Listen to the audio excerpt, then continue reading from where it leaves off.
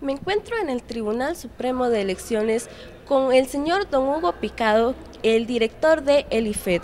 Bueno, él nos va a explicar un poco lo que hace esta institución.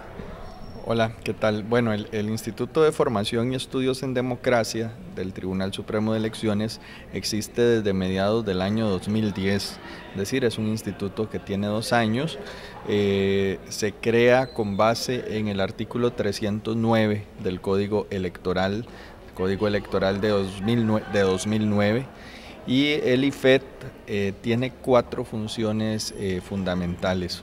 Eh, la primera de ellas es la capacitación electoral. El IFET es un organismo técnico especializado con pedagogos con diferentes énfasis que damos un soporte, un apoyo a la capacitación electoral. Segundo es la formación en democracia y en este sentido nosotros apoyamos por una parte eh, al sistema educativo en promoción de valores democráticos, en la celebración de las elecciones estudiantiles, eh, en ese sentido trabajamos en coordinación con el Ministerio de Educación Pública en los 800 en los 900 colegios públicos y 3500 escuelas públicas del país y además desarrollamos otros proyectos dirigidos a la ciudadanía en general para la promoción de la convivencia democrática, valores y, destrezas como el diálogo, la solidaridad, etc. En tercer lugar, el IFE tiene un área académica que maneja un centro de documentación y a la vez eh, promueve investigaciones sobre democracia y elecciones con diferentes universidades, institutos afines y este, realizamos, eh, organizamos conferencias, organizamos mesas redondas, siempre sobre democracia y elecciones, que es, que es nuestro tema. Y en cuarto lugar, el IFED tiene una, una labor que es totalmente nueva, nueva para el Tribunal Supremo de Elecciones, que es ofrecer capacitación a los partidos políticos, no sobre cualquier tema, sino sobre los temas propios del código electoral, sobre temas de derecho electoral en los que los partidos políticos requieran adiestramiento. Así que desde hace un año y medio, el IFED viene eh, realizando actividades eh, como mínimo una vez al mes, como mínimo mensuales, ofreciendo a los partidos capacitación en diferentes aspectos del régimen electoral. ¿Cuál diría usted que es la labor más importante suya como director? Bueno, mi función como director es coordinar las diferentes áreas para que haya una inteligencia común entre capacitación electoral, formación en democracia, el área académica y capacitación a partidos políticos.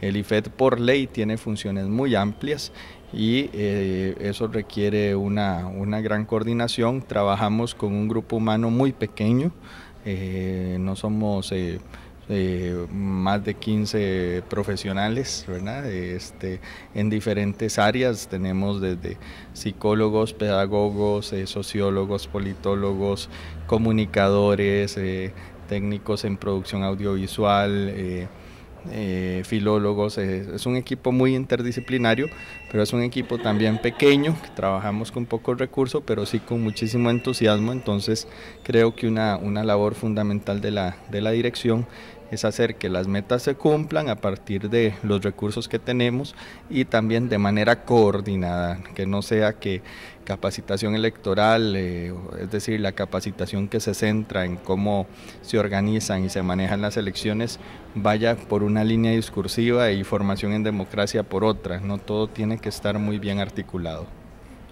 ¿Cómo describiría usted la capacitación que han tenido que hacerle los partidos políticos? Bueno, ha sido sorprendentemente exitosa. Hemos tenido un nivel de asistencia impresionantemente positivo.